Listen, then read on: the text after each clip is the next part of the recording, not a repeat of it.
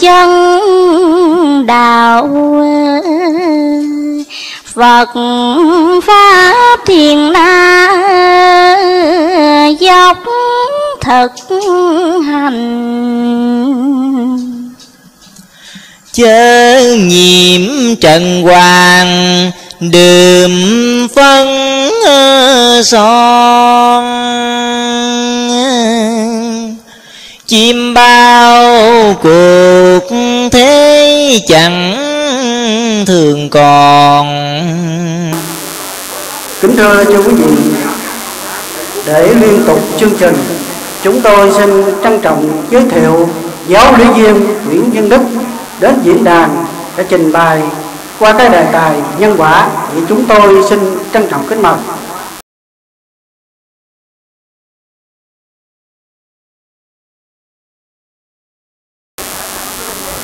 Nam mô Bổn sư Thích Ca Mâu Ni Phật.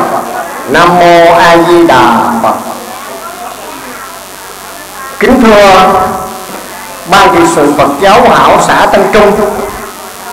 Kính thưa giáo lý viên Nguyễn Thị Trang, giáo lý viên Trung ương giáo, giáo hội Phật giáo hảo cùng các ban trị sự xã lân cận và cùng toàn thể quý vị đồng đạo hiện diện thân mến Hôm nay ngày 26 tháng 3 năm Giáp Thìn. Hôm nay đủ duyên lành.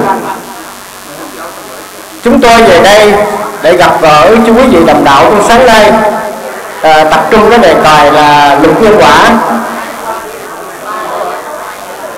Thì trước khi làm phận sự Xin gửi đến toàn thể quý vị đồng đạo Lời chào thân ái và lời chúc phúc tốt đẹp nhất kính thưa toàn thể quý đồng đạo. Thì à, hôm nay lần đầu tiên à, giáo lý viên đi thuyết cũng mười mấy năm rồi. Hôm nay về xã Tân Trung cũng là một cái xã nằm trong vùng thánh địa Phật giáo ảo thì à, suốt đêm hôm mưa ban tổ chức à, cả giáo lý viên rất là lo không biết à, hôm nay về nguyện nhà tức là vùng thánh địa có thiết được hay không. Cúng xong cũng giái thầy đậu ơi đậu cho bữa nay tới giờ chúng con ờ, thuyết giảng cho qua cơn mưa màu màu nhiệm thay. Ông trưởng ban hồi nãy ông cũng giới, rất là màu nhiệm quý vị, Phật pháp nhiệm màu. Thì ờ, kính thưa chú quý vị, Đức Phật nói chúng ta khi mà làm được người á, là một điều khó khăn rồi. Và nghe được Phật pháp càng khó khăn hơn. Mà đặc biệt nhất, cái người tín đồ Phật giáo quả của chúng ta đầy đủ phước duyên, đầy đủ nhân lành. Tức là nhiều kiếp tu hành, hôm nay chúng ta sanh và lớn lên, trong gia đình có truyền thống tu theo Phật giáo hạo đây là một điều hy hữu quý vị. Thì anh em giáo viên chúng tôi nghiên cứu từ mà lịch sử Phật giáo ở Việt Nam cũng như trên thế giới, lịch sử Phật giáo, chưa có một vị giáo chủ nào ra đời. Cái tuổi độ thanh xuân là 19 20 tuổi mà đất nước Việt Nam đang bị gót dài xâm lược của thực dân Pháp. Mà hôm nay mà chính chúng ta là được duyên lành, được là một, trở thành một đệ tử, một tín đồ của Phật giáo hòa Hảo quý vị qua sấm giảng quý vị cũng biết đức thầy ra đời kỳ này đâu phải là ngẫu nhiên quý vị.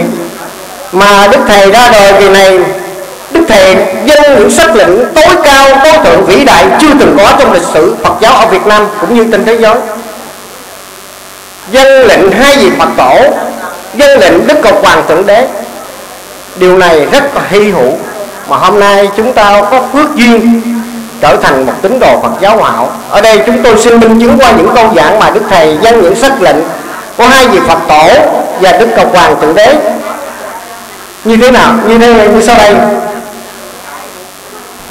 Đức Thầy nói dân lệnh Phật tổ Thích Ca, Ta thừa dân sắc lệnh thế tôn Khắp hạ giới truyền khai đạo Pháp. Và chỗ khác Đức Thầy dân lệnh Phật tổ A Di Đà Muốn tu tịnh nơi đà gặp ngộ Đức Di Đà truyền mở đạo lành. Bởi vì Ngài thương xót chúng sanh, Ra sắc lệnh bảo ta truyền dạy. Bốn câu giảng đó, Đức Thầy Thô lộ chúng ta biết là Đức Thầy dân lệnh Phật tổ A Di Đà giáo chủ cõi Tây phương cực lạc chỗ khác đức thầy cũng nói dân lệnh đức ngọc hoàng thượng đế. Cúi đầu tâu lại củ trùng, ngọc hoàng bản chiếu lão khùng giáo dân. Đây là một điều hân hạnh, diễm phúc, phước báo chưa từng có. Đối với một người tín đồ Phật giáo mạo, thế mà gần đây cũng có số đồng đạo chúng ta lơ là không bám sát tôn chỉ hành đạo của thầy, rồi chạy theo ông sư này chạy theo ông sư nọ rồi bỏ cái giáo lý thầy không chịu tu hành. Rất là đau lòng quý vị. Thì hôm nay cũng nhắc lại những cái sứ mạng những cái sắc lệnh thiên liêng cao cả của đức thầy để chúng ta vững niềm tin nơi đức thầy. Để cố gắng tu hành để một ngày nào đó đức thầy trở lại ban thưởng cho chúng ta. Kính thưa sư quý vị. Thì theo chương trình thuyết giảng thì hôm nay hai giáo lý viên thì phụ trách tổng khoảng uh, ờ, chắc cũng ờ, hơn 2 tiếng đồng hồ. Thì ờ, ban tổ chức cũng cho biết là khoảng gần 60 phút. Thì hôm nay giáo lý viên có đi thuyết á, thì thường hồi đó vô có phát nguyện là đem máy phát giảng theo, tức là cái máy tắm ghi. Thì cũng để tặng bà con, vì tôi có một cái lời nguyện rằng khi mình cho máy phát giảng có một số đồng đạo phát tâm á đôi khi uh, nghe máy phát giảng nghe giảng thầy mà chúng tôi phát tâm ăn chay trường tu hành điều đó làm cho tôi động viên cảm động mà tôi phát nguyện là khi nào mà còn đi thuyết giảng là bữa đó phải có máy phát giảng cho đồng đạo ít nhiều. Thì hôm nay thì đem theo khoảng được 15 cái máy phát giảng tấm ghi để tặng bà con. Nhưng mà ban tổ chức ông ờ, trưởng ban ờ, phòng ngọc bé có cho biết đó, để cái đạo tràng chúng ta được uh, vui vẻ hơn được uh, phấn khởi hơn thì à, giáo lý viên sẽ đặt những câu hỏi cũng tập, tập trung ở trong cái giáo lý của thầy. Nếu đồng đạo nào hỏi được trả lời được thì à, giáo lý viên tặng một cái máy. Còn lại thời gian sau thì ban tổ chức sẽ tặng cho những người lớn tuổi chưa được có à, máy để nghe. Kính thưa sư quý vị đó là cái ý hôm nay. Mà trước khi để nói về cái máy thì giáo lý viên xin kể một câu chuyện về tâm linh về cái máy quý vị câu chuyện về tâm linh cái máy, khi kể, nghe kể rồi quý vị sẽ rất thích nghe giảng. Câu chuyện này được xảy ra tại xã Phú Xuân của chúng tôi. Tôi quê xã Phú Xuân, huyện Phú Tân, tỉnh An Giang, tức là cùng quê của ông Bảy Lượng trưởng ban tổ chức dân sự đó thì ở xã Phú Xuân chúng tôi có gia đình của bà út Thanh, á. Bà đi làm ăn xa ở Bình Dương, á. Bạn mướn nó nhầm cái nhà trọ cái gì mướn nhầm cái nhà trọ có ma ông ma này ghê gớm lắm. Với lại chích thuốc phòng mạch uh, ba bốn lần tôi đều hỏi tới luôn coi cái cụ này lớn tuổi rồi mà có, có, có nói có sai không? Tức là bà nói con bà cháu bà đi bình, bình dương mướn cái nhà trọ thành viên đó là năm người. Năm người nhưng mà muốn nhầm cái nhà trọ của con ma nó nhát ngủ không được luôn. Tôi hỏi nhát sao mà ngủ không được ờ, cô và nó nó, nó rơi nó liễn xuống luôn. Rồi có lúc nó hiện hình hiện ra mặt máu không à. Tôi hỏi cô ơi giờ con hiện hình ra con ma này con ma đực hay là con ma cái bà nói một cái người mặt người nữ khoảng 30 tuổi. 30 tuổi không biết chết vì sao mà quyến liên trong cái căn nhà trọ đó hoài không có đi đầu thai. Rồi tôi hỏi tại sao không muốn cái nhà trọ khác đi? Nhà chỗ có ma ở không? Ngủ không được. Mà tại sao mà không muốn chỗ khác? Chỗ khác nó xa mà nó mắc tiền hơn. Khổ quá rồi. Khổ ải vô biên đúng không? Mới nhớ tới chuyến điền là vấn đề Phật pháp. Về xin cái máy phát giảng. Bà nói màu nhiệm lắm, chú đức ơi. Khi mà con cháu tôi nó phá cái máy phát giảng rồi, đêm đó không có một cái tiếng rên, không có tiếng khóc, không có đen ken gì hết. Phát thời gian, rất là ngủ em máy không có một cái tiếng gì gọi là phá phấy hết và lúc khi máy phát giảng nó đứng ở ngoài cửa sổ nó nhìn vô, nó sợ lắm. Khi mà phát thời gian xong con máy phát hết công suất mà 24 trên 24 giờ cái gì? Nó hư. Cái máy bữa đó nó hư. Hư nó tấn công lại. Nó cũng nhát lại, nó cũng rơ nó cũng khóc vậy đó. Điện về chú quýt chạy xe đò, xã phú xuân á, loại phòng mạch y sĩ đức á, xin cái máy phát ngoài. Gửi ngoại đường. Gửi ngoại thì im ru luôn, ngủ ngon lành quý vị thấy màu nhiệm vấn đề phát giảng không? Khi tôi thuyết giảng ở cà mau cũng kể câu chuyện này. Rồi bà con ở cà mau á, cũng có cái gia đình, số gia đình mà bị dông, tức là đè, bị ma đè đó. Mình nói tiếng ma đè đi. Rồi xin cái máy của phát giảng về cũng im ru luôn cái gì màu nhiệm lắm. Thành ra chúng tôi bây giờ giáo lý viên thiết hay coi nào, thì quý vị nghe trong vòng nửa tháng quên hết rồi. Nhưng mà giảng của đức thầy á, quý vị càng nghe, càng thấy hay, càng thấm mà chính tôi cũng vậy, cúng xong là ngày nào cũng phải nghe. Không nghe giảng hầu như nó thiếu thiếu cái gì á. Mà lời trong ngọc của đức thầy chúng ta nghe một lần, hai lần, làm sao chúng ta hiểu nổi. Nhiều khi cái câu giảng đó, năm rồi chúng ta không hiểu, nhưng năm nay chúng ta nghe, chúng ta nhập tâm, chúng ta hiểu được.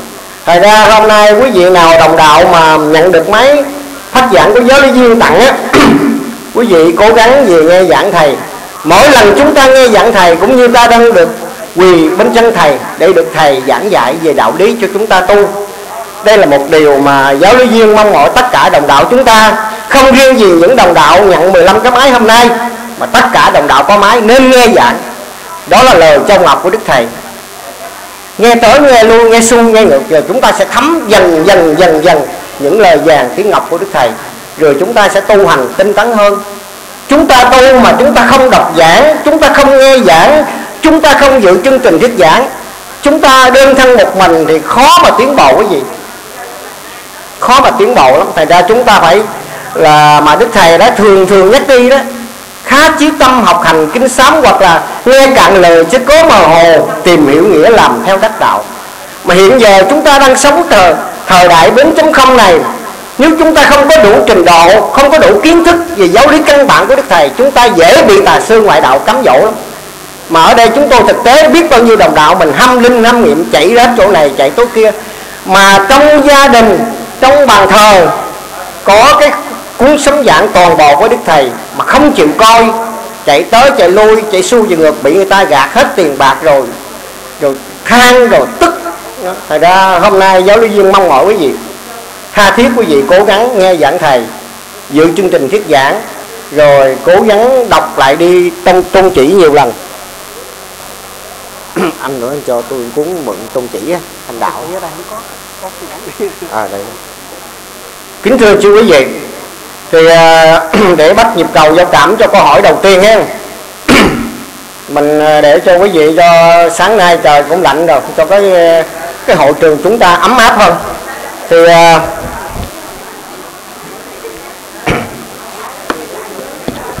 hồi xưa tới giờ quý vị à, thì hỏi à, giáo lý viên trước giờ phóng hay cũng sau giờ phóng. Hôm nay giáo lý viên hỏi ngược lại, có à, đời có có qua có lại, bánh sắp đi, bánh quy lại cho nó vui, phải không? Thì hồi đó tới giờ quý vị đồng đạo đọc giảng rất là nhiều. Và hôm nọ tôi gặp một người bạn cao đài, đi đám chung, người ta hỏi, đức thầy của ông phải là đệ tử trung thành của đức phật thích ca hay không? À, mình nói thừa nhận đức thầy tôi là đệ tử trung thành của đức phật thích ca. Ra đời kỳ này cũng dân lệnh phật tổ thích ca xuống đây à, dạy đạo cứu đời. Như vậy đức phật thích ca viết nhiều kinh lắm. Kinh diệu pháp liên hoa kinh a di đà kinh vô lượng thọ kinh nhân quả ba đời vân vân. Nhưng hôm nay thầy ông là đệ tử của đức của đức phật thích ca mà viết sấm giảng. Sao không để kinh mà để hai chữ sấm giảng? Như vậy giáo lý viên có thể cho tôi biết hai chữ sấm giảng là gì không ạ à? không để kinh mà hai để hai để hai chữ sấm giảng vậy hôm nay qua các câu hỏi của một người bạn câu đài giáo lý viên xin hỏi tất cả đồng đạo ở đạo tràng này nhất là những đồng đạo đọc giảng viên định nghĩa từ ngữ hai chữ sấm giảng là gì ạ à? à, chú họ tên gì ạ à? à, cảm ơn uh, chú phước chú phước định nghĩa như thế này, hoàn toàn chính xác, sống là lời tiên tri, giảng là giảng dạy đạo lý, đức thầy vừa giảng dạy đạo lý cho người ta tu, đức thầy vừa tiên tri những việc sắp xảy ra, cũng như sắp, khi đức thầy với cái quyển nhất, đức thầy đã nói những việc sắp xảy ra rồi. Hạ quân nay đã hết đời, phong ba biến chuyển đổi giờ gia can. Hoặc thầy tiên đoán những việc sắp xảy ra sau này chiến tranh thế giới, đức thầy nói đến chừng đó bốn phương có giặc khắp hoàn cầu thiết thiết tha tha còn thầy tiên đoán với vùng đất sơn bảy núi trên năm non rồng phụng tốt tươi miền bảy núi mà sao báo quý cảm ơn chú. Cho đồng có tay thật lớn quý vị. À, đề nghị ban tổ chức à, nhận máy đó. À, tặng cho chú một cái máy ờ, đầu máy hàng đầu tiên đây ạ. À. cảm ơn à, mời à, đồng đạo hoàng thị tốt tặng cho chú phước một cái máy. Và câu hỏi thứ hai quý vị mình hỏi chừng ba, bốn câu bắt đầu đi vào chương trình à, đề tài luật nhân quả để dành thời gian cho đồng đạo à, giáo lý viên Nguyễn Thị Trang nữa. Chứ nếu mà vừa đặt câu hỏi mà vừa thuyết đề tài nhân quả này, nếu mà kéo dài khoảng 2 tiếng hồ hết. Nhưng mà thời gian à, không có cho phép mình kéo dài. Ở đây, quý vị ai cũng đọc tôn chỉ hành đạo. Như vậy quý vị có thể định nghĩa được cái quyển sấm giảng tôn chỉ hành đạo, tức là cái quyển sấm, cái quyển nhỏ, quyển sách nhỏ. Mà đó là cái quyển mà đức thầy thường ngày xưa chưa có vắng mặt, đức thầy hay đi. Và tặng những đồng đạo nào có duyên, đức thầy tặng quyển tôn chỉ hành đạo.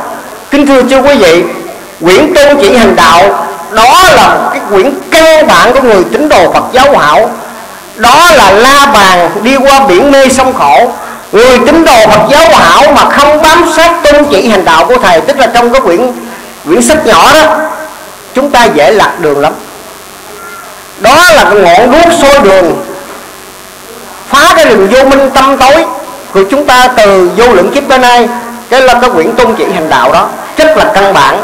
Thành ra chúng tôi à, nãy quên đem cái quyển tôn chỉ hành đạo lên cho quý vị để minh chứng nhưng bây giờ thôi, đại khái mình nói gì cũng quý vị cũng hiểu rồi. Cái quyển tôn chỉ hành đạo rất là căn bản. Nếu người tín đồ Phật giáo hảo nào muốn tu đạt đến chỗ giải thoát, thành công đắc quả mà không bám sát quyển tu chỉ hành đạo, xin thưa, không bao giờ thành công. Đó là bản đồ, đó là la bàn đi biển. Mà chúng ta tu mà cũng chúng ta không bám sát tôn chỉ hành đạo là chúng ta không bao giờ đạt kết quả mỹ mãn được. Như vậy xin ngộ với đồng đạo, bốn chữ tôn chỉ hành đạo là gì ạ? À?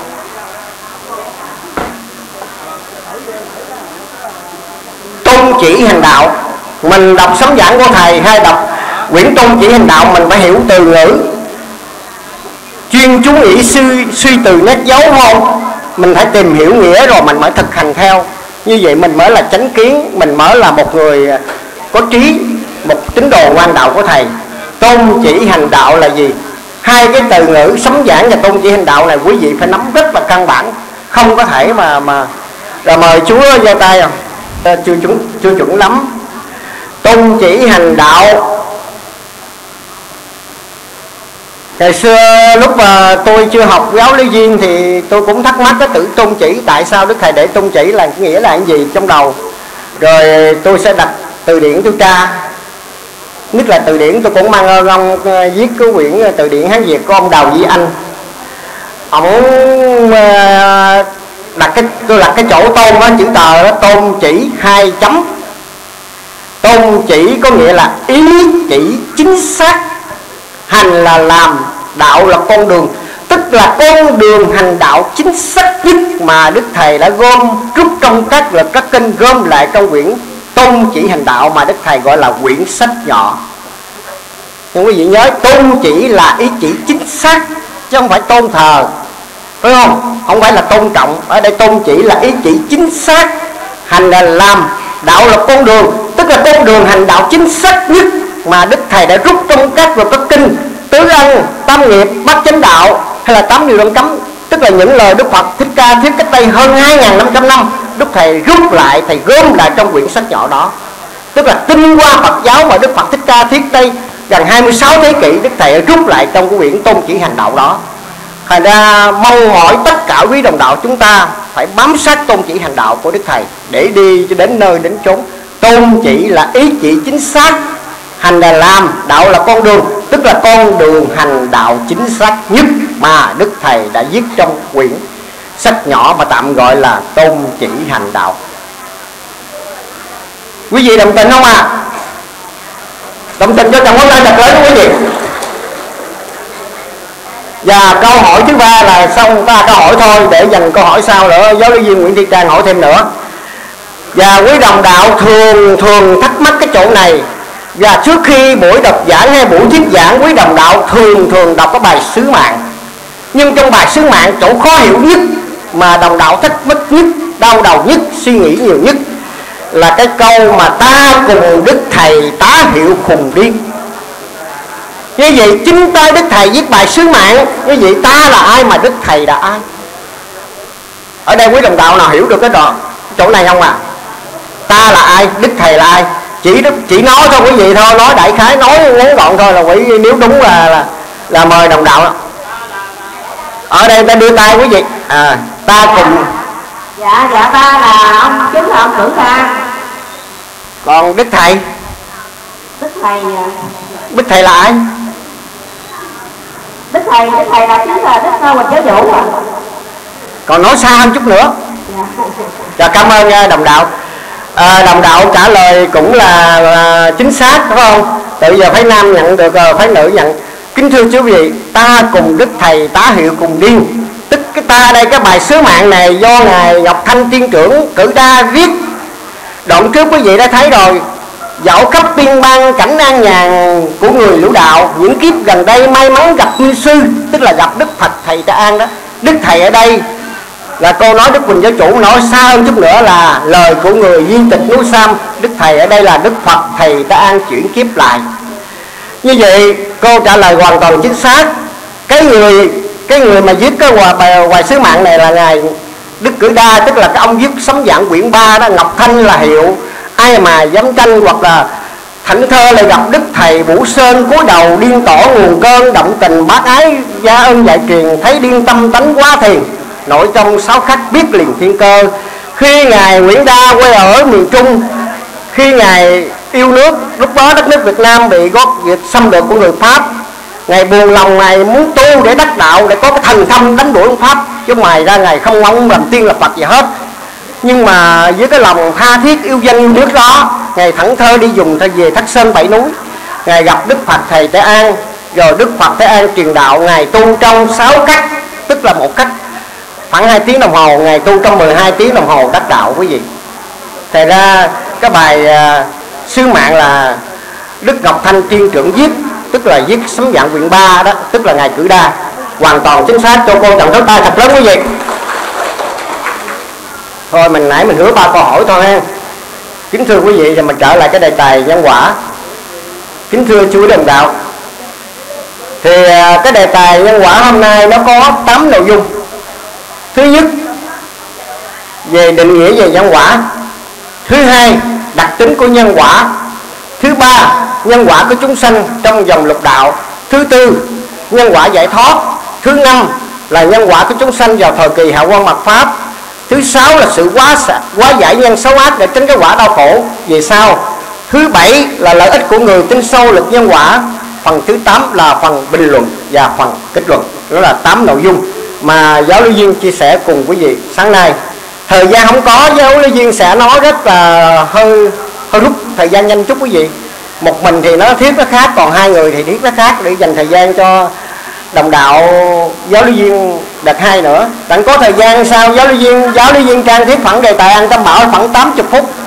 Nếu đề tài này mà giờ ban tổ chức cho 60 phút hầu như là phải cắt bỏ đi vài nội dung chứ không thể nói hết được.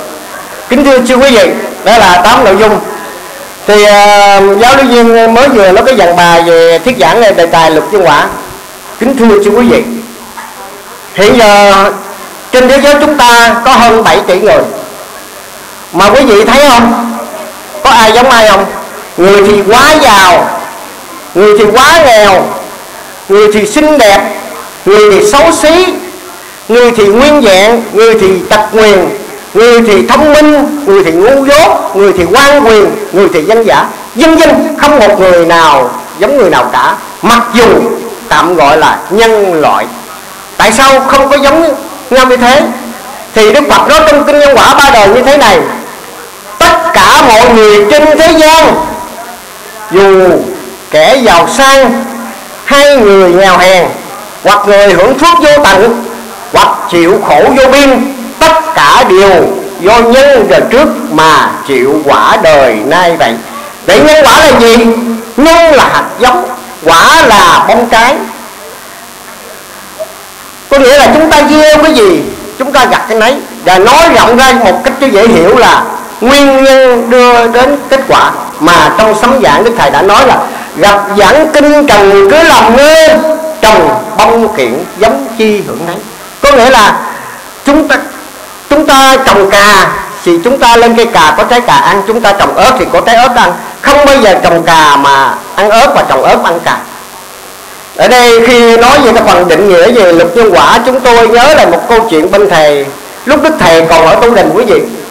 Thì một đồng đạo cũng đọc trong sấm giảng cũng đọc trong kinh ờ, à, luật nhân quả thật là cao diễn suốt cổ kim chẳng lột một ai dân dân hoặc là trong dân trong nhân có quả trong quả có nhân dân dân. Nhưng mà cái đồng đạo này không hiểu. Hiểu một cách mơ hồ thành ra hôm đó có ngụ ý đến viếng đức thầy tổ đình để gặp đức thầy hỏi về lực nhân quả để mà tu. Thì khi đến viếng tổ đình xong, làm lễ ba ngôi xong, người tín đồ đó lợi xá thầy và thưa rằng, bạch thầy, hôm nay con đến trước giếng thăm thầy sau con hỏi thầy về luật nhân quả để con tu? Thì con đọc trong giảng thầy cũng như trong kinh con hiểu về nhân quả mơ hồ lắm chưa có rõ ràng tường tận. Nhờ thầy từ bi chỉ dạy cho con. Đức thầy nhìn, nhìn người tín đồ đã nói Thầy hôm nay em muốn tìm hiểu về lực nhân quả để ông tu á Thì thôi tôi bảo sao ông làm vậy nha Lúc đó cái nhà đức ông có tủ kiến không vậy. Thì đức thầy bảo cái người tín đồ đứng cách xa tủ kiến khoảng bảy tấm tấc. Rồi đứng xong rồi thầy bảo Thầy nói thôi giờ ông đứng xong ông bà ông xá nhiều xá đi. Xá xong rồi thầy hỏi. Thì cái người đồng đạo này cũng xá một xá, xá hai xá, xá nhiều xá xong. Rồi bạch thầy con xá rồi à. Thầy hỏi sao? Dạ bạch thầy con xá một xá thì thấy trong tủ nó xá lại một xá. Con xá hai xá thì thấy trong tủ nó xá lại hai xá. Con xá bao nhiêu xá thì thấy trong tủ nó xá lại bao nhiêu xá. Rồi thầy nói thôi gì cũng được. Rồi ông đứng lại tư thế như hồi nãy. Lần này rồi khi nào thầy bảo sao làm làm vậy? Thì ông đứng cái tư thế y như hồi nãy thì thầy bảo nó, thôi ông thôi nhiều, thôi đi. Thôi xong rồi thầy họ hỏi. Thì ông này cũng đến cái tủ kiến ông thôi, một thôi, ông thôi, hai thôi, ông thôi, nhiều, thôi, xong. Và bạch thầy con làm xong rồi à thầy hỏi, sao lần này ông thấy sao? Dạ thầy, lần này không không, con không thấy trong tủ nó xá lại mà con thôi một thôi. Rồi thấy trong tủ nó thôi lại một thôi. Con thôi hai thôi. Thấy trong tủ nó thôi lại hai thôi con thôi, bao nhiêu thôi? Thì trong tủ nó thôi lại bao nhiêu thôi? Thầy kết luận, nhân quả là vậy đó. Có nghĩa là ông cung kính ông thương mến người ta thì được người ta cung kính thương mến lại. Ông xá người ta thì được người ta xá lại. Còn ông khởi tâm hung ác, ông muốn hại người, muốn đánh đập người thì người ta cũng khởi tâm hung ác, đánh đập ông là gì? Qua câu chuyện đức thầy dạy tín đồ, hết sức là tôi thấy là đúng là một vị phật thời mà 1939 mà so với trình độ hiểu biết của đồng đạo hôm nay thì lúc đó thật sự giống như là nhập môn học lớp 1, lớp 2 thôi. Mà để hiểu vấn đề hiểu giáo lý sâu như đồng đạo bây giờ khó. Mà đức thầy mượn cái hình ảnh mà xá với thôi trong cái tủ kiến để minh họa minh chứng cái cái luật nhân quả trong người đồng đạo đó thì chúng ta thấy hết sức là sâu sắc mà thật rất là thực tế. Thì qua cái câu chuyện đó thì nó hội lên hai cái ý. Thứ nhất là thôi thứ hai là xá hai tượng trưng cho thiện ác. Thì hôm nay, giáo lý viên sẽ phân tích nhân quả thiện ác cho đời sống hàng ngày của quý vị. Chúng ta làm tu hành thì không ngoài thiện ác, không ngoài tội phước quý vị? Lúc nào trong đầu chúng ta cũng nhớ thiện và ác tội và phước. Thiện là phước mà tội là ác vậy. Thì hôm nay cũng phân tích sâu về nhân quả thiện ác trong đời sống hàng ngày để chúng ta tránh đi những cái điều xấu ác. Chúng ta làm nhiều điều thiện, điều tốt đẹp kính thưa chú vị, thì đó là cái phần định nghĩa về nhân quả. Và một cái định nghĩa nữa, là một cái thí dụ để cho quý vị dễ hiểu. Cái nhân quả là một sự phản ứng phản ứng của lực nhân quả. Thí dụ cái gì quý vị đánh lấy cái cái tay đánh trên cái mặt trống, đánh một cái thì dội lên một cái, và quý vị lỗ tai nghe là, mà đánh bao nhiêu cái là cái sự phản ứng cái mặt trống? Thì nó dội lại tay nghe bao nhiêu. Cái sự phản ứng của lực nhân quả rất là chính xác. Thì ra trong đời chúng ta được mọi người tôn vinh hay là cười chơi được giàu hay được nghèo hay sung sướng đau khổ, tất cả do nghiệp tạo của chúng ta. Cũng không ngoài cái quy luật nhân quả. Đó là cái phần về phần định nghĩa nhân quả. Tới đến là phần thứ hai là đặc tính của nhân quả. Thì nhân quả, đức phật dạy trong kinh thì nó có ba cái đặc tính. Đặc tính thứ nhất là nhân quả trong một đời. Thế nào gọi là nhân quả trong một đời? Nhân quả trong một đời có nghĩa là chúng ta làm việc thiện, chúng ta hưởng ngay trong một kiếp này và chúng ta làm ác chúng ta sẽ bị quả báo ngay trong kiếp này gọi là nhân quả trong một đời. Ở đây chúng tôi xin kể một chuyện có thật quý vị. Và cái người nhân vật trong câu chuyện này là quê ấp Bình Quối, xã Bình Thạnh Đông, huyện Phú Tân, tỉnh An Giang. Chúng ta cách đây khoảng 5 6 năm một buổi sáng nọ có một cụ già khoảng 75 tuổi. Cô này đến phòng mạch tôi chích thuốc. Mà đặc biệt đi với một người cháu mà đặc biệt cô này mở con mắt cho cháu à mà không có thấy đường. Mình thì cũng có tò mò mình là tại sao bà này mở con mắt không thấy hướng mà tại không thấy đường? À, tôi hỏi cô ơi cô ở đâu mà cô đến chích thuốc gì tôi nói tôi ở uh, bình thanh đông chút. Tôi là cô ba hường. Thì đến đây chích thuốc. Mà tôi hỏi sao mà mắt cô uh, mở mắt cho cháu không có hư mà tại sao cô không thấy đường? Cô nói chú đức ơi khổ lắm tôi bị uh, mắt còm tôi xuống bác sĩ diệu với lâm xuyên mẫu mắt. Người ta mẫu về thấy đường, tôi mẫu thời gian lại quay không thấy được mình cũng hai cái thuyết đề tài nhân quả thấy gì? Chắc con nghĩ cô có vấn đề rồi. Hỏi, bà hỏi có vấn đề gì à, ông y sĩ? Cô xin hỏi cô á, chắc cô bị quả báo rồi, chứ làm gì mổ mà không thấy đường. Xin hỏi cô, từ nhỏ tới lớn cô có làm cái gì hại gì người ta? Hoặc động vật gì con mắt không? Cũng khiến mình hỏi và nó có chứ. Tôi có chồng năm 19 tuổi. Và ông và chồng và chồng tôi đó, ông chuyên nghề bắt chim, bắt cu, bắt cò trong đồng. Mà mỗi ngày, ông và chồng tôi phân công bảo tôi lấy chỉ sổ kim phải mai một đôi mắt. Mình hồi đó giờ mình đâu có biết cái vụ đó. Hỏi mai chi cô ba? Bởi mai đừng cho nó thấy đường để làm con chim mồi. Mà tôi làm như vậy tới năm 39 tuổi tôi mới nghĩ cái tôi lấy cái máy tính, cái tính như vậy là khoảng hai ngàn đôi mắt nó mù với bàn tay bà ba. Đúng không bà? Mình nói đâu có sai quý vị. Chạy trời sao khỏi nắng trăng hai người mù bất phải máu kiếp mù trong đời tôi gặp thêm hai người nữa một người ở xã phú sinh cũng chết rồi, là tên ông bé sụi, cũng bắt chim bắt cò làm mai màu vậy đó, cuối cuộc đời cũng bị mù đi. Đúng là nhân quả hại người đau khổ như thế nào, mình sẽ gặt lấy y như thế nấy. Nhân quả như bóng với hình của gì? khi mà nghe kể chuyện nhân quả hoặc thuyết đề tài nhân quả rồi, quý vị sẽ mình nghĩ đi, tất cả bản thân mình, gia đình mình, xung quanh mình, làng xóm mình, tất cả đều bị nhân quả hết. Thiện giả thôi, chứ không bao giờ chạy khỏi. Trùng trùng điệp điệp. Đó là cái đặc tính thứ nhất quý vị cái đặc tính thứ hai là nhân quả trong hai đời. Thế nào gọi là nhân quả trong hai đời? Nhân quả trong hai đời có nghĩa là chúng ta làm việc thiện, chúng ta không hưởng trong kiếp này mà tới kiếp thứ hai chúng ta mới hưởng. Hoặc ngược lại, chúng ta làm điều ác, chúng ta không bị quả báo trong kiếp này mà tới kiếp thứ hai chúng ta mới bị quả báo. Cũng như trong kinh nhân quả ba đời đức phật dạy rằng, nếu kiếp này chúng ta bắt cầu, sửa đường, bồi lộ, thì kiếp sau chúng ta sẽ lên xe xuống ngựa hoặc kiếp này chúng ta bố thí cơm áo gạo tiền cho người nghèo thì kiếp sau chúng ta được giàu có sung sướng. Nếu kiếp này chúng ta bỏng sẻn, chúng ta tham gian thì kiếp sau chúng ta sẽ nghèo khổ. Nếu kiếp chúng này chúng ta cố gắng xem kinh niệm phật, bố thí pháp thì kiếp sau chúng ta sao? Rất là thông minh. Nhân dân, thì ở đây chúng tôi xin kể một chuyện là mà đức thầy đã nhắc trong sấm giảng là câu chuyện con vua lương vỗ đế nhớ thổi trước vua lương võ đế tạo chùa chiền khắp nước tu hành. Đến ngày sau ngã tử đại thành, phật bất cứ vì tâm còn ác. Ông lương võ đế là ai mà được đức thầy nhắc trong sấm giảng? Ông lương võ đế là một cái người vua ở bên trung hoa. Cái thời tổ tổ sư đạt ma đó, ông vua này rất là hiền đức.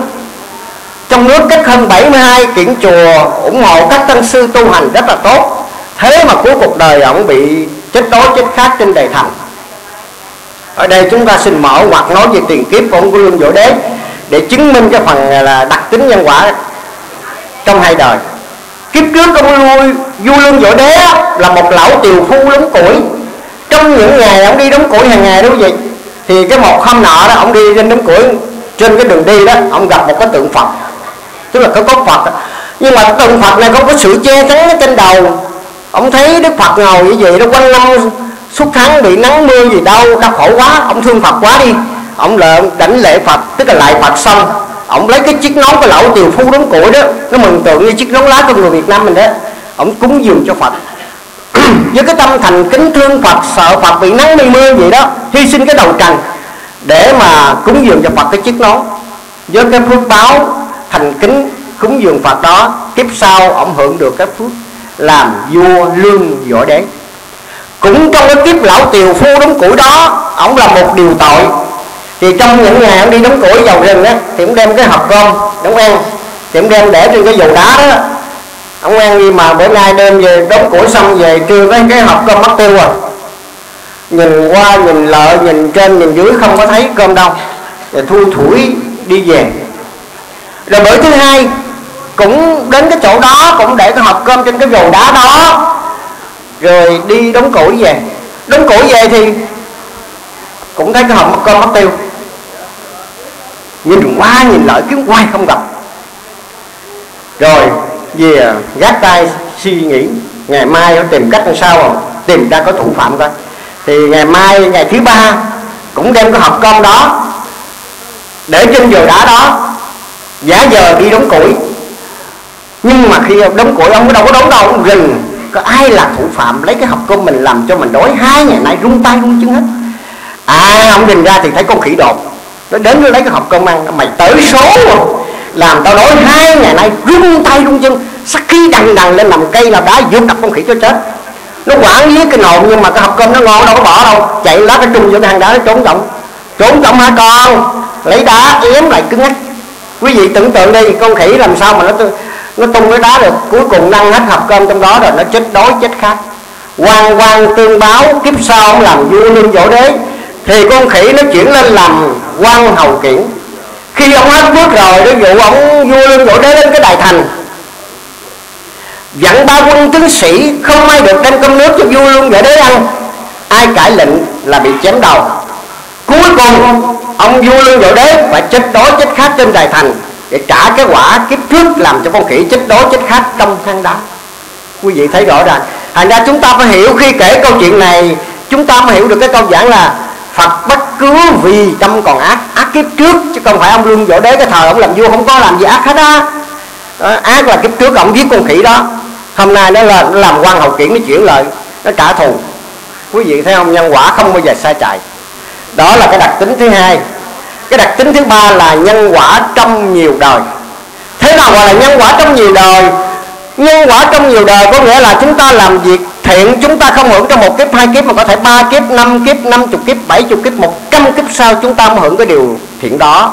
Ngược lại, chúng ta làm điều ác, chúng ta không bị quả báo trong một kiếp, hai kiếp, có thể ba kiếp, năm kiếp, năm chục kiếp, bảy chục kiếp, một trăm kiếp sau chúng ta mới bị bảo, bị quả báo cái việc làm ác đó. Ở đây chúng tôi xin kể câu chuyện để minh chứng cái nhân quả nhiều đời.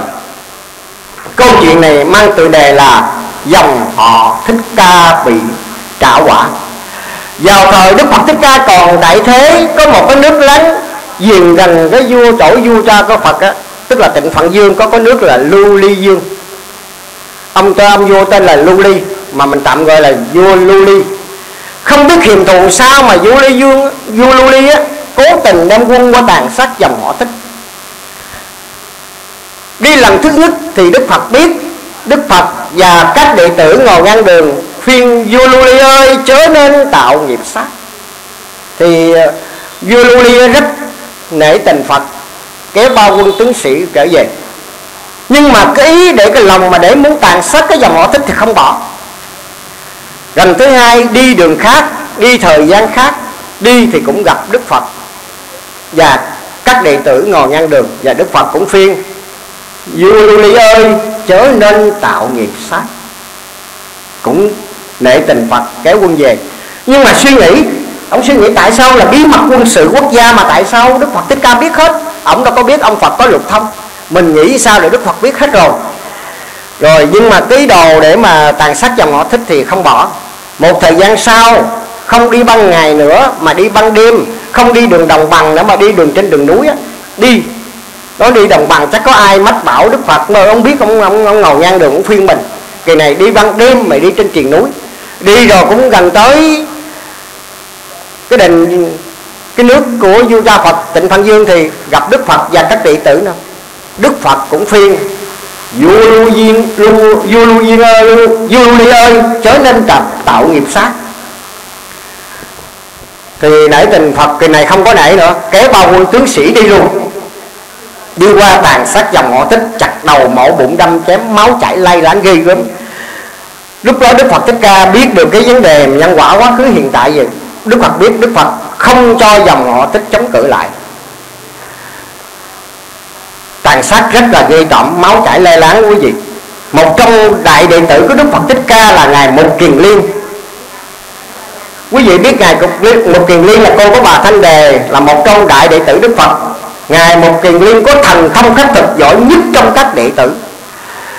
Ngài một kiền liên đau lòng quá dùng thần thông của mình, lấy cái bình bát đi khắc thực hàng ngày đó, đưa 500 người thân cận trong, thân cận trong dòng họ thích, đưa về cõi trời để lánh nạn.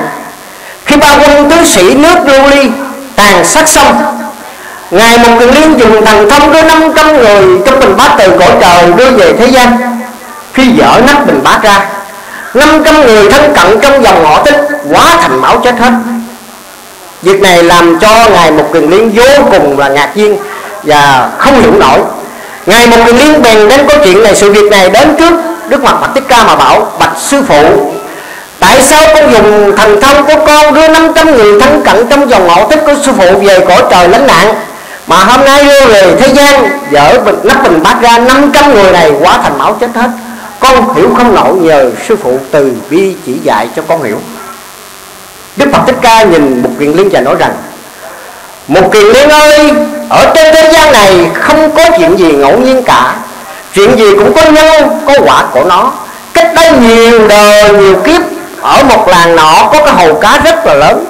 Dân dân trong làng thường bắt cá lên ăn. Dân trong làng đó có một đứa bé ở làng đó có một đứa bé khoảng bảy tám tuổi đứa bé của đó không ăn thịt cá. Nhưng khi người ta bắt cá dưới ao hồ thảy lên, thì đứa bé đó lấy khúc củi, khúc cây gõ đầu con cá. Ba cái chơi rắn mắt một kỳ liên biết đứa bé đó là ai chăng? Hôm nay đứa bé đó là ta. Ta bị trả quả nhức đầu ba ngày, ba đêm. Nếu không nhờ công đức tu tập chứng quả như lai, người thường tình vỡ sọ mà chết còn những người dân trong làng ngày xưa đó, ăn thịt cá đây, hôm nay là dòng thọ thích của chúng ta đang bị trả quả. Còn những con cá trong hồ ngày xưa đó, hôm nay là ba quân tướng sĩ của nước luli và con cá lớn nhất trong hồ ngày xưa đó, hôm nay là vua luli một kiền liên ơi, nghiệp quả đã tới rồi.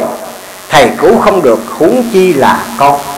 Kính thưa chưa quý vị, qua câu chuyện dòng họ thích ca bị trả quả, chúng ta thấy ghê tởm vấn đề nghiệp quả sắc sanh. Chính vì vậy mà đức phật thích ca ngày xưa khi ra đời cũng cũng bảo đệ tử, chưa ăn chay trường được thì đức phật cũng bảo ăn tam tịnh nhục, tức là thấy, không thấy, không nghe hoặc con vật đó giết không gì mình. Cũng mường tượng như trên, Đức Thầy của chúng ta ra đời ngày 18 tháng 5 năm 1939 Đức Thầy vì lòng từ bi và phương tiện dạy tín đồ, chay bốn bữa. Chay bốn bữa ấy là quy tắc của kẻ khùng chỉ dắt chúng sanh. Nhưng với thời gian tám mươi mấy năm nay, tín đồ của thầy đã thâm hiểu sâu về giáo lý đức thầy. Chúng ta đọc hết sấm giảng toàn bộ của đức thầy. Không chỗ nào đức thầy bảo chúng ta ăn mặn hết. Những người tín đồ chân tư, chân tu tâm đạo, hầu như bây giờ là 90 phần trăm chuyển ăn chay quy tắc, qua ăn chay trường. Đây là một điềm lành báo trước. Người tín đồ sau này của đức thầy đắc đạo vô số tính đến. Quý vị quý vị đọc kỹ ra không có chỗ nào đức thầy bảo chúng ta ăn mặn hết. Tương với muối cháu rau đậm bạc, nghèo lương hiền, biết niệm di đà. Chứ đâu có tương với cá đâu. Phải không? Tương dưa giữ phận cho tròn, cú niên thân dậu mắt còn sẽ phân không có chỗ nào thầy bảo. Làm hết cách việc từ thiện, tính tất cả đều độc ác. Nếu mà làm hết cách việc từ thiện, tính tất cả đều độc ác, làm sao mổ bụng đánh dãy phải không? Cắt đầu, đặt đầu được. Thật ra khi hiểu được vấn đề nhân quả sát sanh rồi, chúng ta phải cố gắng chuyển ăn chay quy tắc qua ăn chay trường. Đó, đây là một cái điều mà người tín đồ chân tu tâm đạo phải cố gắng cho làm được. Kính thưa chú quý vị, tại sao có nhân quả một đời, hai đời hay nhiều đời gì thì đức phật nói vô cái nghiệp lực của chúng sanh nó mạnh hay yếu mà thôi. Nếu nó mạnh thì nó nở sớm, còn nó yếu thì nở chậm chậm. Cũng như giống chúng ta làm lúa vậy, cái học giống lúa nó mạnh thì nảy, nó nảy mầm sớm. Còn học lúa yếu thì nó nó nảy mầm chậm. Chính vì vậy mà có số đồng đạo chúng ta thắc mắc, tại sao? Giáo lý viên nói nhân quả tôi đồng tình những cái lời đức phật, đức thầy dạy chúng tôi là rất là là chịu nghe. Nhưng mà tại sao có số đồng đạo hôm nay? Ăn chay niệm phật làm lành mà nghèo khổ có số người ta ăn mặn, ta nhậu, ta cờ bạc. Ta đi chơi mà ta giàu có, ta chạy xe nhật không? Còn anh em đồng đạo chúng tôi thì chạy xe bèo bèo. Tại sao là gì nhân quả có đúng hay không? Nhân quả không bao giờ sai trật quý vị. Trường hợp này đức phật giải thích rằng những người mà hôm nay mà làm ác mà giàu có đó, là kiếp trước người ta có bố thí, có làm lành. Cái phước người ta cùng động dư lại người ta hưởng. Nếu kiếp này người đó mà không tiếp tục làm phước nữa, khi hưởng hết cái phước, họ sẽ bị đau khổ họ bị sẽ quả báo giống như mùa trước mình làm lúa trăm để trong bồn trăm dạ. Mình mình ăn mới có sáu ba chục dạ trong bồn mình còn ba chục dạ. Ăn chưa có hết phải không? Còn những người đồng đạo mà hôm nay mà chúng ta nghèo khổ hoặc không có được sung sướng bằng người ta là do mình mới tu kiếp này thôi.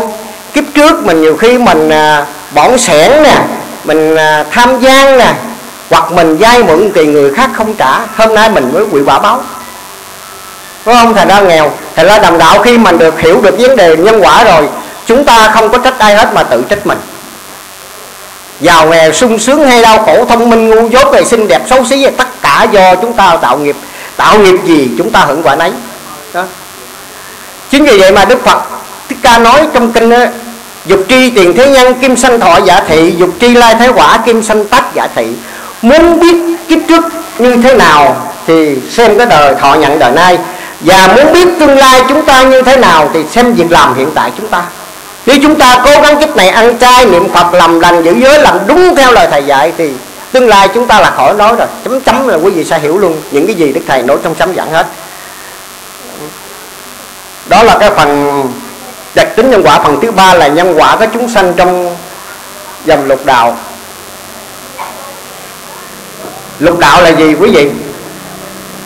Thế nào là nhân quả chúng sanh trong dòng lục đạo, ở đây lòng đạo nào có hiểu được cái tiếng lục đạo không ạ? À? trả lời trả lời luôn quý vị máy còn nhiều lắm. Mình người tu mình phải biết lục đạo luân hồi, mời mời đồng đạo đó.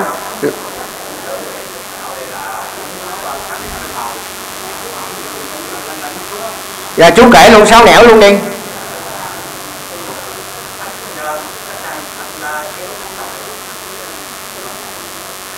Và cõi trời có thằng Atula có người địa ngục nào quỷ súc sanh. Và cảm ơn cảm ơn chú. À, mời ờ, hoàng thị tốt chặn cho chú cái máy. Đề nghị đầu tràng của tầng của tay thật lớn quý vị. Lục đạo đức thầy nói luân hồi sáu nẻo không lần bước ra. Trừ những bậc tu hành đắc quả a la hán trở lên thì thoát khỏi dòng sanh tử luân hồi chúng ta gieo nhân gì, chúng ta được về con trời, thì đức phật nói những người nào hành được thập thiện tránh thập ác, và tu phước bố thí rất nhiều, thì sau này chúng ta được về cõi trời. Mà đức thầy đã nói là phước nhiều tiên cảnh linh linh dài đó. Tức là hành thập thiện tránh thập ác, bỏ sát chúng ta được về cõi trời. Và những người nào mà giữ được 10 điều lành, nhưng mà tâm còn đố kỵ, còn nhân ngã, còn hơn thua, thì sau khi chết, hồn được đầu thai và cõi thần Atula thằng Atola thì sung sướng hơn cõi người ta, nhưng mà thằng Atola thích chiến đấu với các chư thiên cõi khác lắm. Trong kinh Đức Phật kể vậy, chứ đừng hỏi giáo liên làm sao biết nghe. Cái này Phật kể, mình chỉ nói lại thôi. Và quan trọng nhất là đây, tới đây chúng ta đây, hạng thứ ba là hạng nửa chừng đây. Chúng ta gieo nhân gì để chúng ta sau khi chết, chúng ta được làm người ở đồng đạo.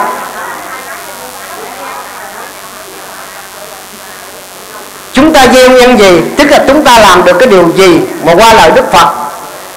Đức dạy trong kinh mà chúng ta sau khi chết được đầu thai làm người, tức là chúng ta giữ được mấy giới? Và mời đồng đạo và dạ, cô có thể kể năm giới ra cho đồng đạo biết luôn không ạ? À? giới thứ nhất, thứ hai, thứ ba, thứ tư.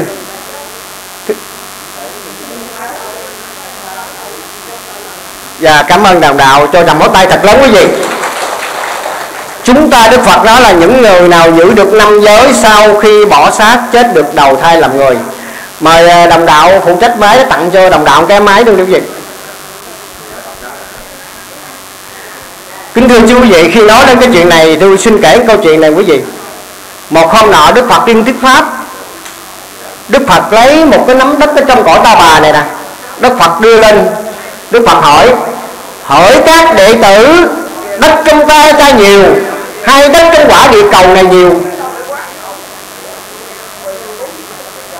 Thì các đệ tử hỏi, dĩ nhiên đất trong tay sư phụ phải ít hơn đất trong quả địa cầu này. Rồi thì đức phật nói, cũng mường tượng như trên, hỏi các đệ tử khi người ta làm người mà chết được đầu thai lại làm người á, ít như đất trong tay ta mà đổ vào tam đồ khổ địa ngục, ngạ quỷ súc sanh, nhiều như đất trong quả địa cầu này vậy. Đúng mình làm người được là may mắn không quý vị? Rất là may mắn. Tôi lấy đơn giản này thôi, thế giới của loài cá, thế giới của loài kiến thôi. Mình so với loài người mình có thấm có thấm thía vào bao đâu mình chưa nói tới mấy loài khác đó. Loài cá loài kiến thôi là nó tỷ tỷ tỷ. Mà trên thế giới mình giờ có hơn 7 tỷ người. Bởi khi mà chúng ta mà được mà đầu thai làm người, đức phật nói á chết mà được đầu thai làm người đó ít như đất trong tay của đức phật, mà đọ vào tam đồ khổ địa ngục ngạ quỷ xuất sanh nhiều như đất trong quả địa cầu này vậy. Thành ra hôm nay chúng ta được làm người mà được gặp giáo lý của Đức Thầy, Đây là một phước báo vô cùng lớn quý vị. Kiếp này mình qua không về Tây Phương Cực Lạc, qua đời Thượng Quân mình tu 10.000 năm nữa, Tức là so với là 125 kiếp, tính cái tuổi Đức Phật Thích Ca là Mình cũng được vãng sanh Tây Phương Cực Lạc luôn. Chắc chắn đừng cho rớt cái đợt này, Dứt khoát cực này phải phải có mặt hội Long qua chưa về Tây Phương Cực Lạc, Phải có mặt trong hội Long qua và sống đời Thượng Quân, Thánh Đức, mà Thượng Quân học phục là ngày ăn cư. Thật ra chúng ta rất mừng, Chúng ta là những người Đất trong tay Đức Phật, cho tầm cái tay thật đó quý vị Còn nguyên nhân nào khiến chúng ta đọa vào địa ngục ngạ quỷ xuất sanh? Thì Đức Phật nói nguyên nhân là khiến chúng sanh đọa vào địa ngục. Ngạ quỷ xuất sanh là do 10 điều ác. 10 điều ác khiến chúng sanh đọa vào địa ngục ngạ quỷ xuất sanh. Thí dụ ở đây tôi đơn cử, không có thời gian, chỉ đơn cử thôi. Thí dụ ác sát sanh, Thì Đức Phật nói trong kinh nhân quả thiện ác, Đức Phật nói á, nếu chúng sanh nào mà tạo nghiệp sát quá nhiều, sau khi chết có thể đọa vào làm địa ngục, ngạ quỷ và súc sanh. Và khi sau khi trả hết cái quả báo đó rồi, đầu thai làm người cũng bị hai cái quả báo. Quả báo là gì? Cái người mà mang tội xuất sanh là quả báo là gì? Đồng đạo nó hay đúng hai cái quả báo này, nhận máy luôn. Người mà tạo nghiệp sát sanh nhiều bị hai quả báo quả báo gì? Mình biết rằng vậy, sau này mình đừng có đừng có dám sắc xanh đừng có chỉ, đừng có phải khuyên người khác. Đồng đạo nào biết cứ nói cho quý vị. Sắc xanh nhiều. Và mời mời đồng đạo.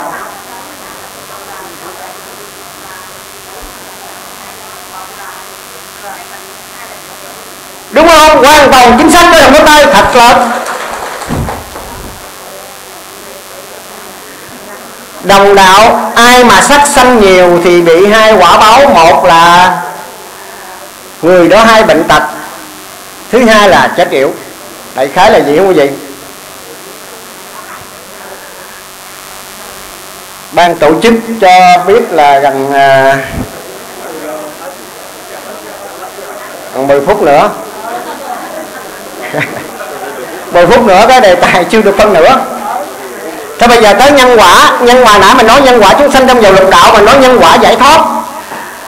Thế nào gọi là nhân quả giải thoát? Nhân quả giải thoát thì nó không còn nằm chi phối trong lục đạo luân hồi nữa, Mà ra thoát khỏi dòng sinh tử luân hồi.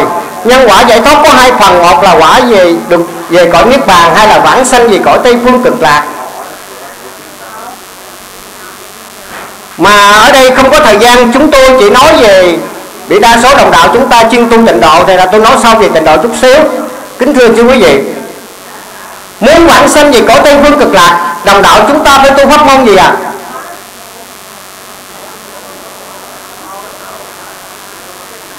ờ à, mời mời chị mời cái đồng đạo tôi có dưới á câu hỏi này rất đơn giản? Đúng không quý vị? Cho chồng có tay tặng chú cái máy đi tốt môn tịnh độ là phương cứu cánh ráng phụng hành kẻo phụ Phật xưa. Nhưng tại sao có số đồng đạo chúng ta niệm Phật được dẫn sanh có số đồng đạo chúng ta niệm Phật không dẫn sanh? Tức là niệm Phật chưa đúng theo với phương pháp của Đức Thầy dạy. Ở đây chúng tôi chỉ nói là những người nào muốn vãng sanh Tây Phương Cực Lạc Thì phải niệm Phật chuyên tâm niệm Phật đầy đủ ba yếu tố tính nguyện hành nha. Mình phải nói tính nguyện hành chứ không phải nói tính nguyện hành như ngày xưa mấy xưa quý vị à, Đầy đủ ba yếu tố là tính nguyện hành phải chuyên tâm niệm Phật. Mà Đức Thầy đã nói trong quyển năm là, lòng thương chúng thiết phương, tịnh độ tặng dắt diều tất cả chúng sanh nếu ngay cố chí làm lành, chuyên niệm phật cầu sanh phật pháp, cả vũ trụ khắp cùng dạng vật giàu tiên phàm ma quỷ súc sanh, cứ nhất tâm tính nguyện phụng hành, được cứu cánh về nơi an dưỡng.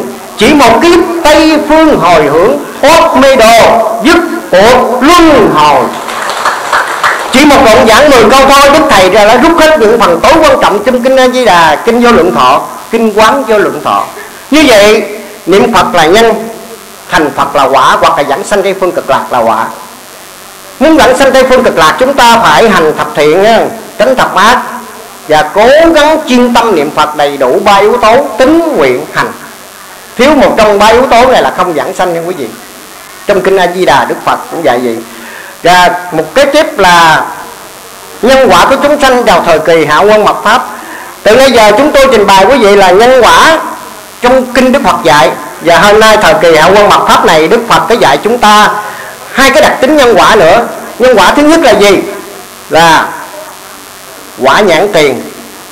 Đời xưa quả báo thì chày, đời nay quả báo một giây nhãn tiền. Nhãn tiền là gì hỏi đồng đạo? Đồng đạo là hiểu được hai từ ngữ nhãn tiền thôi nhãn máy. À, chú chú với chó cái dưới đưa tay trước. Ban tổ chức xin uh, khoảng 10 phút 20 phút nữa quý vị. Mình ờ, nãy mình hợp đồng tới 12 giờ. Mình là chưa được 11 giờ mà. Trả lời đi chú. Tức là trả nhanh nhãn là gì? Nhãn là mắt tiền là trước thấy trước mắt. À, cảm ơn chú cho đầm pháo tay thật lớn. Trả rất nhanh quý vị chứ không có mơ trong tới một đời hay là hai đời nhiều đời mà trả rất nhanh. Có thể sớm sáng làm chiều hưởng không chừng. Ở đây chúng tôi xin kể câu chuyện. Câu chuyện này ờ, mà mình nó nói gì đề tài nhân quả mà không kể chuyện thì nó không có hấp dẫn. Nghe nó nó, nó khô lắm. Thôi kệ đi tới đâu tới bữa nay mình ờ, mưa này đi thiết kể chút. Câu chuyện này là câu chuyện có thật luôn quý vị có thật cái người bệnh nhân kể cho tôi nghe là cái người kể nghe đó là bà con ruột với với cái gia đình đó, đó. Có hai vợ chồng ở cây số 7 trên cây giàm nè đi làm ăn ở bình dương á. Cũng muốn cái nhà trọ mà cái thời làm vỏ xích điểm á. Thì cái bà này bà thấy bữa đó bà ra cái nhà trọ có cắm đám cỏ đặt con rắn.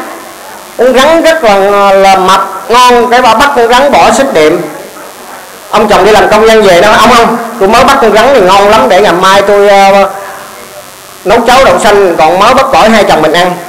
Thì ngày mai, bắt cắt cổ mổ bụng con rắn đánh dậy, mới nấu cháo đậu xanh và mới bắp gỏi cho hai vợ chồng ăn rất là ngon. Thì anh thời gian sau thì khoảng hai ba ngày sau đó, ông chồng nói, bà ơi, từ lúc ăn cháo rắn đậu xanh của bà, tôi không thấy khỏe mà thấy trong mình tôi nó kỳ lắm. Hỏi sao? Trong mình tôi mấy gài nó nó nó kỳ cục lắm, không dám nói nói ra sợ bà buồn bà giận. Có sao vợ chồng sống mấy mươi năm thì cứ nói ra đi. Dạ, vậy cái gì mà không dám nói. Trong mình mấy ngày nay tôi muốn giết bà không đó, thì đứa cháu gái nó ngủ trên cái số 7 quý vị. Nó ngủ nằm trên bao hai đêm. Hai vợ chồng này thứ bảy, thấy dượng bảy mình, giết cô bảy mình bằng cách cắt cổ mổ bụng. Nằm ngủ thấy hai đêm liên tục. Giật mình điện ra ngoài hỏi, cô bảy ơi, cô với dượng có xích mích gì không? Mà con nằm chim bao, con thấy kỳ quá. Hỏi mày thấy sao? Con thấy dượng bảy giết cô bằng cách cắt cổ mộ bụng ở nói chắc mày máu huyết không lưu thông nằm bao thấy bậy bạ chứ cô với dưỡng có sao đâu con sống cùng hạnh phúc. Thì một ngày đó, đúng 7 ngày quý vị, một buổi sáng đỏ cái nhà trọ nó dậy sốc hết trơn á. Thì thấy ông chồng này nè, giết người vợ, cắt cổ một bụng, đêm đem là cái giò nước không tên đó rửa đấy. La lên thì là công an nó bắt ông ngơ ngơ ngáo ngáo. Thì có phước hết rồi, quan gia trái chủ đó, con rắn nó khiến cái người chồng phải giết vợ có nghĩa là người vợ giết con rắn sao ông chồng giết cái gan gì đó? Chứ có 7 ngày thôi. Nhân quả nhận tiền. Nhiều người hỏi tại sao có người ăn rắn không bị? Tại vì cái phước mình còn. Chứ không phải là không bị quả báo nó quý vị. Nhiều câu chuyện nhân quả nhận tiền lắm nhưng thời gian không có. Đó. Rồi cái đặc tính thứ hai, trong thời mật pháp này, trả nhanh rồi mà trả dồn dập mà đức thầy gọi là gì quý vị? Trả dồn dập mà đức thầy trong sấm giảng, đức thầy dùng từ gì? Ông nhồi quả cho người hành đạo lúc quy nàng, thấu chí cùng chăng đúng không nếu bền lòng dĩ quả câu thanh chẳng chặt dạ bỏ lăng phật thánh. Có nghĩa là chả nhanh mà chả dồn dập. Khi đồng đạo chúng ta hồi lúc chưa biết tu á, chưa có biết gì, mà hôm nay biết tu rồi, phát tâm ơn trai trường rồi gặp nhiều chuyện, gặp con quậy, chồng quậy, hoặc đi làm nhiều thuốc nam rồi bị té gãy chân nhiều chuyện dồn dập lắm. Không? Mà nếu chúng ta mà không nhẫn nại, không hiểu được nhân quả rồi, chúng ta trách thầy ở sao mà lúc con phát tâm ơn chay trường tới giờ con bị nạn hoài. Ơn trên thương cho mình cho trả cho hết kiếp này đi. Bởi tiền khiên gây lắm nợ, đời này trả dứt mới mong cầu, phải không? Hồi ra hôm nay mà chúng ta đồng đạo mà có tu hành, mà lập chuẩn duyên gặp này kia thì chúng ta mà ráng nhẫn nại qua. Bởi kiếp trước mình gây nhiều những việc bất lành, hôm nay mình bị trả. Chính vì vậy mà đức thầy cũng khuyên đồng đạo chúng ta cố gắng trong sấm giảng đức thầy thường phiên đồng đạo chúng ta dùng cái chữ ráng. Thời buổi này là thời buổi hạ quân mặt pháp. Đời lắm ma dương phấy rối. Chúng ta tu vào thời kỳ là chúng ta đây là đi nước ngược có dòng đời. Rất nhiều thử thách đăng dây con đó. Nếu ngã lầm công khó, tiêu tan, phải không? Bởi đức thầy nói tính nữ thiện nam dình mối đạo dầu cho lăn lóc ráng kiên trinh kiên trinh mà chịu lúc nàng tay dẫu gian nan giả chới này vàng đã bao phen cân nước lửa chì thao lắm chuyện lúc non hài. Nam mô bổn sư thích ca mâu ni phật. Nam mô a di đà phật. Nam mô a di